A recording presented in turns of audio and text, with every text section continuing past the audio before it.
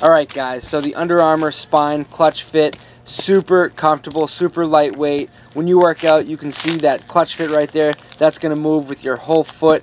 So any type of uh, sharp movements you do, that whole shoe kind of goes with you. So like I said, very lightweight, very comfortable. I don't have any pinch, nothing like that. Just training in these is super easy. You've got the 4D foam, which is uh, very comfort comfortable. The Micro G foam, uh, just very, very soft. So when you move, you just, you know, it's almost like you're bouncing. It's got great response. So overall, just the comfort is on these is awesome. Training them has been so great. So I highly suggest them. True to size.